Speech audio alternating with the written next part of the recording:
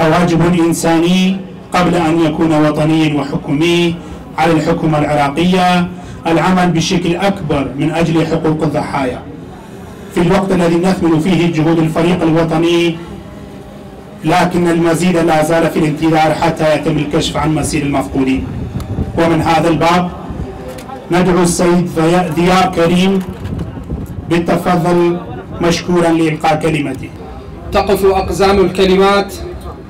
لتحمل ضخامة المعاني في وصف أبشع صور الانتهاك. فتكون الحروف تائهة والجمل قاصرة فنحاول الاستعاضة عنها بالتصور.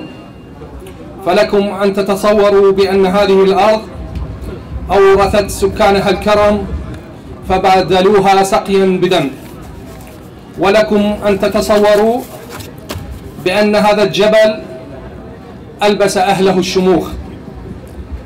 فقضوا على يد قوى الظلام شامخين. واليوم نعود كما كل عام لنقول للعالم وبصوت مدوي أرادوها بحقهم إبادة فكانت خلود وشهادة. السيدات والسادة الحضور نقف اليوم في هذه الأرض المباركة أرض المحبة والسلام. لنشارك أهلها أحزانهم ونشاركهم استذكار مأساتهم. هذه المأساة التي تجسد فيها كل صور انتهاكات حقوق الإنسان ومن أبشعها المقابر الجماعية. فلا نجد قرية إلا وفيها مقابر جماعية. مقابر للأطفال والكبار للنساء والرجال. مقابر للأمهات الكبيرات كما يعلم الكل والجميع مقبرة الصولار لذا عمل الفريق الوطني ووفقا لولايته القانونية المنصوص عليها بموجب قانون شؤون وحماية المقابر الجماعية رقم 13 لسنة 2015 بتنفيذ التزاماته الملقاة على عاتقه. وهنا لزاما علينا لا بد من وقفة نستعرض فيها الدعم الذي أوصلنا إلى توثيق عدد كبير من مواقع المقابر الجماعية في سنجاب. وفتح وتنقيب ما لا يقل عن 60 قبر جماعي. ورفع العديد من الرفات التي تم تسليمها إلى دائرة الطب العدلي الشريك الأساسي بموجب القانون إلى دائرة المقابر الجماعية. الذي قام بدوره وهنا أقصد دائرة الطب العدلي بتحديد هوية الشهداء وإعادتهم إلى ذويهم بمراسيم تليق بتضحيتهم. ولعله كانت هناك جهود ساندة نستعرض فيها الدعم الكبير الذي قدمه الشيخ نايف وعائلته الكريمة وأهالي قريته الكرام والتي كان لها الأثر الكبير في نجاح أعمال التنقيب وأعمال ومهمات جمع عينات الدم. كما نشكر الدعم المقدم من كل المنظمات المجتمع المدني في سنجار ونشكر الدور الكبير للشركاء المحليين المنصوص عليهم في المادة 6 من قانون شؤون وحماية المقابر الجماعية. وأيضا الشركاء الدوليين وفي مقدمتهم اللجنة الدولية لشؤون المفقودين ال ICMP وفريق التحقيق الدولي اليونيتاد لكن كي لا يكون مستوى الطموح أكبر من الحقيقة والواقع ولكي نضع النقاط على الحروف اليوم نقولها وبشكل صريح نحن نقف أمام تحد كبير. هذا التحدي ليس فقط على مستوى البحث والتنقيب وإنما التحدي الحقيقي يتمثل بعينات الدم المرجعية.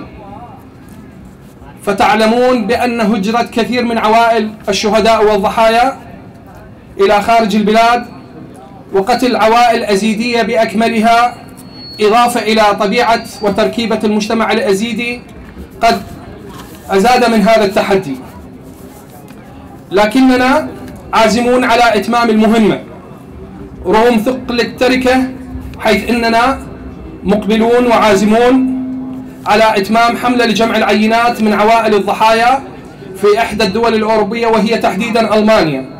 وبدعم وإسناد من اللجنة الدولية لشؤون المفقودين ال ICMP.